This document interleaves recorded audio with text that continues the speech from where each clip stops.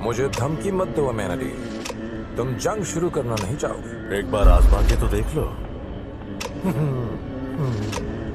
ओह Lucy मेरी नफरत तुम्हारे लिए और भी बढ़ती जा रही है।